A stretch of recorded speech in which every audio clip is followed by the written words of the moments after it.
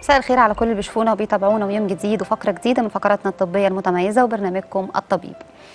إحنا النهارده هنتكلم عن موضوع تأخر الانجاب وإحنا بنحاول نتكلم فيه كتير لأن إحنا بنشوف الحقيقة مفاهيم خاطئة كتيرة جدا عند بعض الأزواج اللي بتعيقهم الإنجاب أو بيبقى حصل لهم بعض المشاكل اللي بتعيقهم عن الإنجاب. إحنا لو قعدنا مع أي حد هنلاقي إن الموضوع ده بقى منتشر جدا لو قعدنا مع أصدقائنا في النادي أو أي تجمع هنلاقي إن مثلا واحدة صاحبتنا تقول ده أنا عندي معرفش مين عندها تأخر إنجاب ودي مين عندها تأخر إنجاب؟ دي راحت للدكتور بعد ما اتجوزت بست شهور.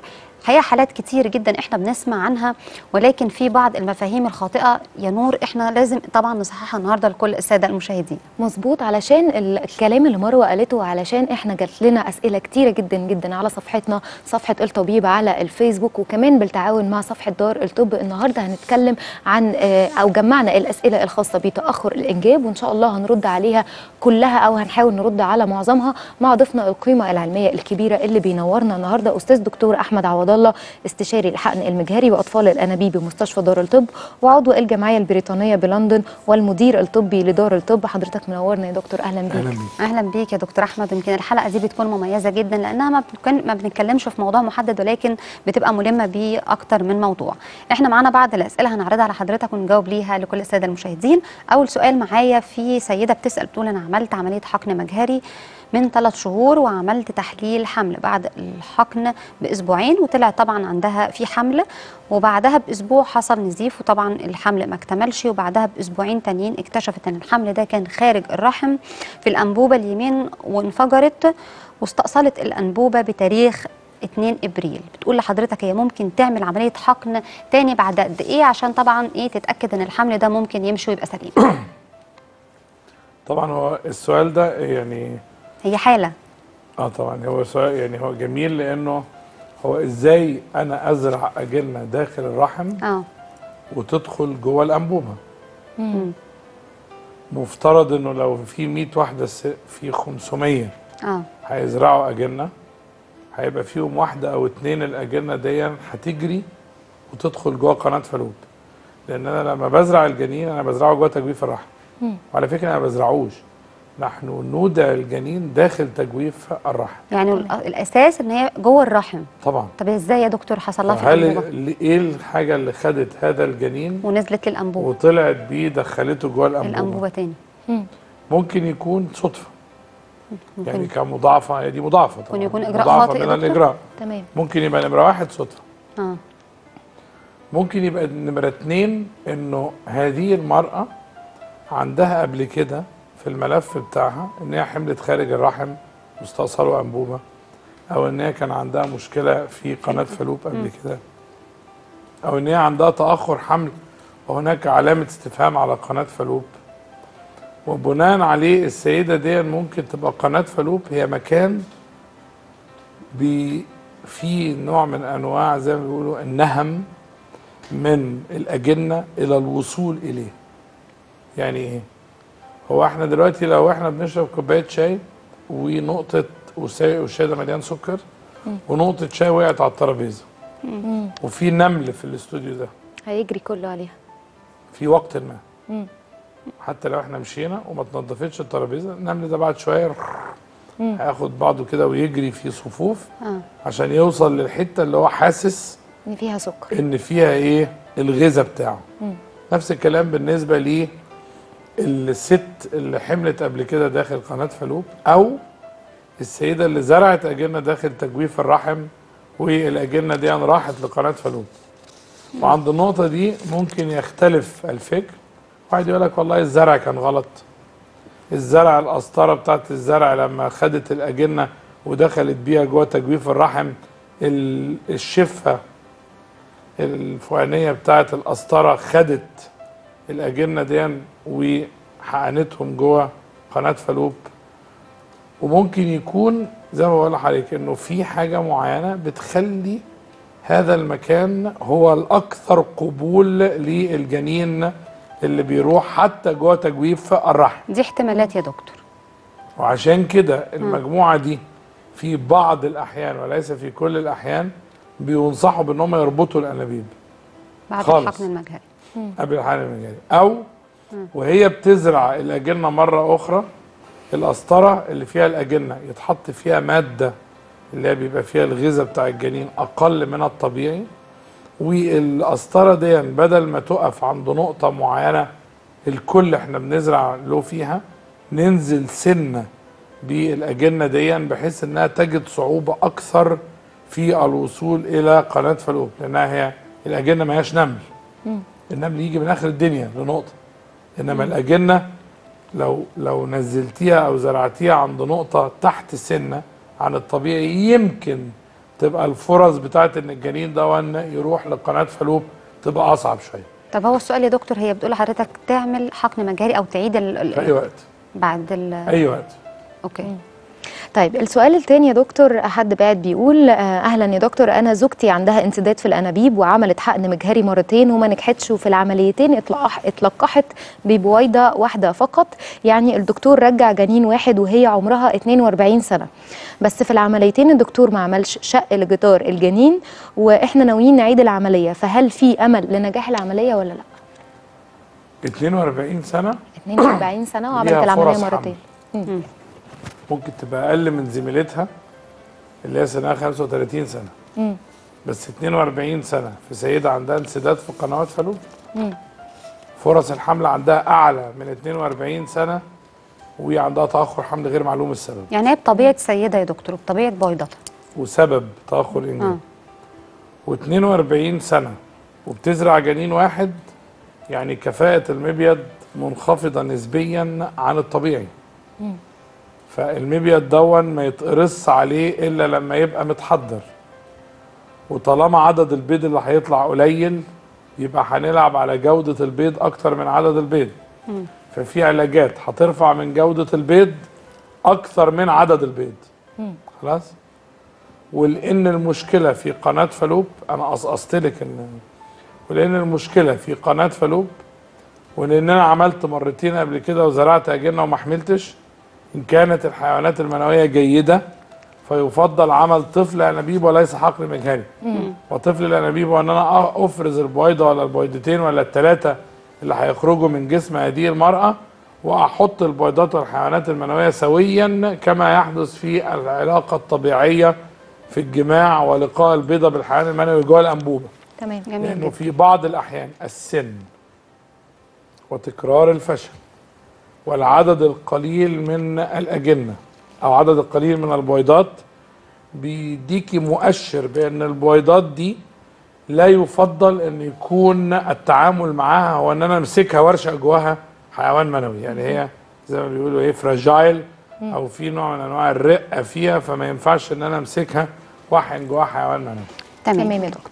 ده كان ردا على السؤال اللي فات. في سيدة بتسأل بتقول طبعا ده الموضوع ده شائع جدا. هل ممكن يحصل حمل بوجود تكيسات على المبيض ولا لأ؟ يمكن الموضوع ده شائع عند بنات كتير أو سيدات كتير جدا في حديث إحنا قلنا الكلام ده في حلقة من الحلقات قريبا إنه 80% من السيدات اللي عندهم تكيسات على المبيض بيحملوا طبيعي.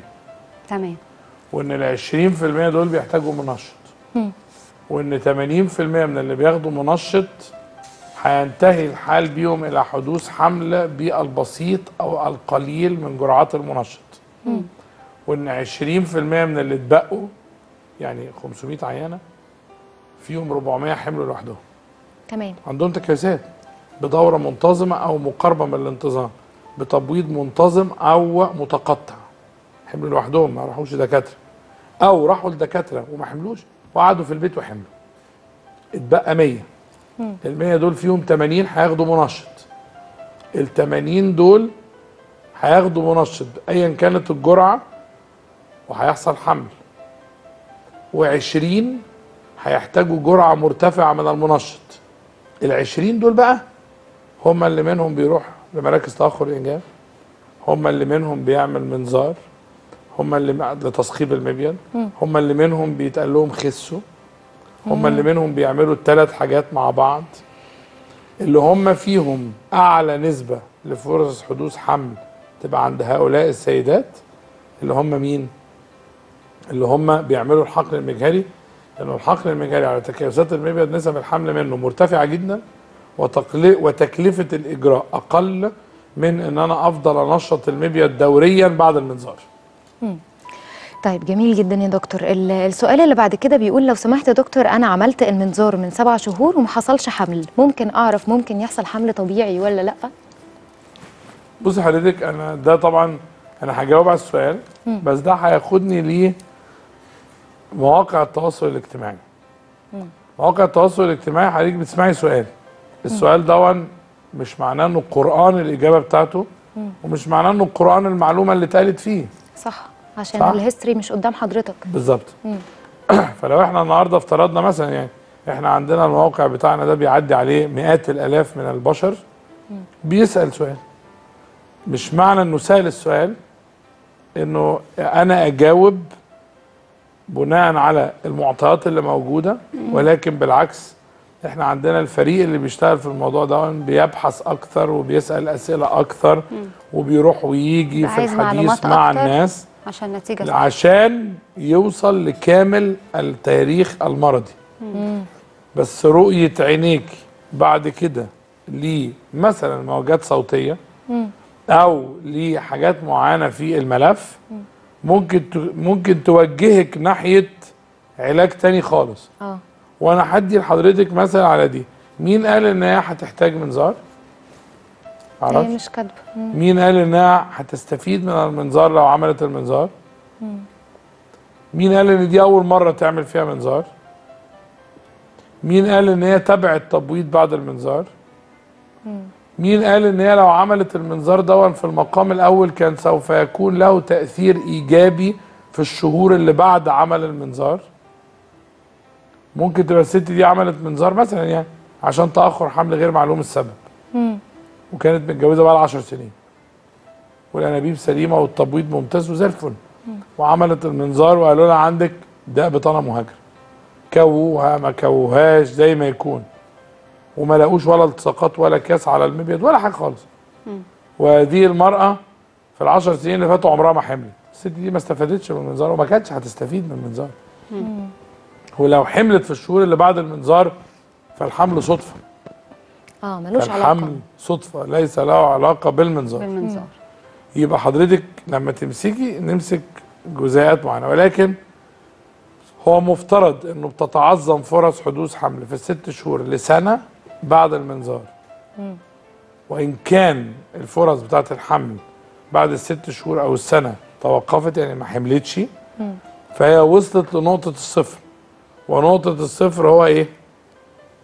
إنه مفيش إن حمل وإن هي مش قادرة تخلف. إن هي عندها تأخر حمل لسبب أو بدون سبب والإجراء بتاع المنظار لم ينتهي بحدوث حمل طبيعي. جميل جدا. هتتوجه إلى وسيلة من الوسائل المساعدة للانجاب هي في حالتها دلوقتي سبع شهور بس اللي قعدت. استنتهم تقدر تستنى تستنى. بقى لحد سنة؟ بعد المنظار. قعدت استنت سبع شهور بعد بقى المنظار؟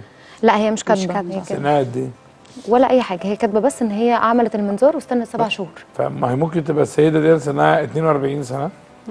والسيدة دي عملت المنظار وهي متجوزة بقى لها شهرين. امم والسيدة دي كانت متزوجة قبل كده 20 سنة وما حملتش ولا مرة.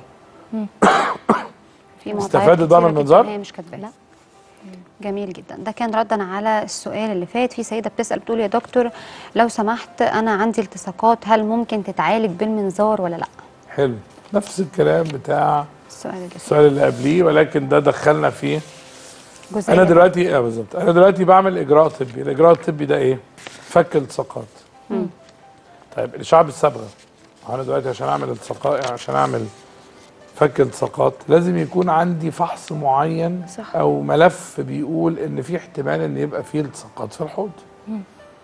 عملت اشعاع بالصبغه قالت لي إن في مشكلة أو في علامة استفهام أو في أي حاجة بتوحي بأنه في التصاقات حوالين الأنبوبة. هل أنا عملت منظار قبل كده ولا لأ؟ معرفش. هل أنا عملت اشعاع قبل كده ولا لأ؟ اشعاع بالصبغه قبل كده ولا لأ؟ ما هي ممكن تكون عملت اشعاع بالصبغه مرتين. مرة قالوا لها في انسداد في الأنابيب. خلاص. وبعدين راحوا عملوا لها منظار. ففكوا التصاقات أو ما عملوا لهاش منظار. قالوا لها لازم نعيد الاشعاع بالصبغة مرة تانية. رحنا عدنا الاشعاع بالصبغه مرة تانية. لقينا الأنابيب سلي... بتعدي صبغة ولكن قالوا لها في التصاقات بقى عندي اتنين اشعاع بالصبغه واحدة منهم الأنابيب كانت مسدودة أو منفوخة أو ملتهبة أي حاجة. والاشعاع الثانية بتقول إن في التصاقات همسك في دي وأسيب دي؟ أكيد لأ. متجوزة بقالي قد إيه؟ ممكن تبقى متجوزة بقالي 20 سنة. وعملت عمليات ياما قبل كده. فما ينفعش إن أنا أمسك بس تفصيله آه إنما. لو حضرتك مسكتيها كده مجردة من أي أسئلة حواليها يجوز عمل منظار لفك الالتصاقات وإن كانت الالتصاقات شديدة فلا فائدة من فك الالتصاقات لأنه ليس تدريب جراحي. جميل جدا. وإن تم فك الالتصاقات من حوالين الأنبوبة بتاخد السيدة فرصة معينة بعد المنظار دون من ست شهور لسنة حدث حمل مبروك ما حدثش حمل يبقى الإجراء ما فشلش الإجراء أف... ما ساعدش في حدوث. حمل بس هو ما فشلش. جميل جدا. طيب دكتور السؤال اللي معايا دلوقتي بيقول أنا متجوزة من سنة وخمس شهور ما حصلش حمل وعملت تحليل هرمون اللبن كان 26 وأخدت دواء بقى 9% وما حصلش حمل مع مع العلم إن جوزي عمل تحاليل وكله تمام أعمل إيه بعد كده؟ ع- عشان مش عارفة أعمل إيه تاني. أشعة بالصبغة ومتابعة تبويض أشعة بالصبغة ومتابعة ومتابعة تبويض. تبويض تمام. طيب في سيدة بتسأل بتقول دكتور أنا عندي اضطرابات في الهرمونات بقالي سنتين وما حصلش أي حمل وعملت أشعة بالصبغة. إيه العلاج اللي ممكن ينفع معايا؟ وهي يعني تمام هي دلوقتي عملت أشعة بالصبغة إحنا ما نعرفش النتيجة آه. ولكن هنفترض إن النتيجة سليمة. سليمة. وتحليل جوزها ما كلمتناش عنه هنفترض إن التحليل كويس. خلاص؟ وهي متجوزة بقى لها قد إيه؟ مش كاتبة. تمام. وإحنا ما نعرفش متجوزة بقى لها قد. إيه. أمال هي سؤالها إيه؟ بتقول هي تا يعني إيه العلاج اللي ينفع معايا؟ لأن تقريبا هي لما عملت الأشعة بالصبغه ما حصلش حمل بعديها وبتقول كمان أنا عندي مشاكل في الهرمونز بتاعها. هرمون اللبن مش 20 و30 و40 و45 والكلام ده ملوش ما بيأخرش حمل. وعلى حسب عدد سنين الزواج يقيم ملف هذه المرأة. إحنا محتاجين شوية أسئلة زيادة. مع شوية معطيات في ال- أما شوية معطيات زيادة. اسف تمام. أما السؤال الجاي يا دكتور بيقول أنا عندي الأنبوبة الشمال مقفولة يا دكتور وعايزة أعرف علاجها ممكن يكون إيه. متجوزة بقى قد إيه؟ ما لا ما فيش. هو تمام. بس إن هي عندها الأنبوبة النهارده لو. بتقول إن أنا رحت عملت فحص وقالوا لي الأنبوبة الشمال مقفولة. أنا أحمد عبد الله لو متجوزة بقى لها شهر زي لما تكون متجوزة بقى لها 10 سنين والعلاج هو أن يلتقي البويضات والحيوانات المنوية بعيدا عن قنوات فالوب الاثنين لأن هناك احتمال إن تكون قنوات فالوب هي مصدر ليه تاخر الانجاب جت قالت لك أنا متجوزة بقى لي ست شهور. سنة. سنة ونص. وسني 25 سنة. حرام إنك انت تاخديها ناحية الوسائل المساعدة للإنجاب. فهتقولي لها إيه؟ نعيد الاشعه بالصبغة مرة أخرى وممكن تكون تحت مخدر عام. نعيد الاشعه بالصبغة مرة أخرى ونغير المركز اللي اتعمل فيه حتى لو المركز الأولاني كان محترف وبيعمل بكفاءه شديدة. ماشي؟ تمام. بتقول لك أنا متجوزة بقالي 15 سنة. 10 سنين. خمس سنين. يبقى مدة تأخر الإنجاب إيه؟ كبيرة. طبعا. يبقى حتى لو في أنبوبة مسدودة طب ما الأنبوبة الثانية كان المفروض يحصل اللقاء بين بويضه وحيوان منوي فيحصل حمل. لا ما حصلش حمل. اتفقنا؟ فهي تاني برضو هنفترض إن هي عندها انسداد في قناة ممنوع إعطاء منشطات لتحفيز المبيض لأن ده ممكن يعلي من نسب الحمل خارج الرحم في الأنبوبة الثانية ممنوع عمل منظار إلا في حالة إن تبقى هذه المرأة متزوجة بقى لها مدة قليلة ده نمرة واحد. وإنه يبقى في أمل أو رجاء من الفحص بتاع الاشعه بالصبغه إن أنا ممكن أساعد هذه المرأة بإجراءات جراحية لتسليك الانبوب رغم إن أنا مش مقتنع بالفكر ده ولكن لا زال موجود في الطب. بجد يا دكتور إحنا بنشكر حضرتك النهارده. يا رب تكونوا استفدتوا النهارده. اتكلمنا عن بعض الأسئلة اللي حضراتكم بعتوها على صفحتنا صفحة طبيب وكمان دار الطب. كمان كانت أسئلة مختلفة ومتنوعة في الكثير من الموضوعات. يا رب تكونوا استفدتوا النهارده. اتكلمنا في كل إجابات الأسئلة. ضيفنا اللي كان منورنا الأستاذ الدكتور أحمد عوض الله استشاري الحقن المجهري وأطفال أنابيب بمستشفى دار الطب وأيضا عضو الجمعية البريطانية بلندن. شكرا ليك يا دكتور على وجودك معانا النهارده. بشكر حضرتك شكراً. جدا يا دكتور ميرسي. مشاهدينا انتظرونا فقرات مفيدة ومميزة دايما من برنامجكم الطبيب.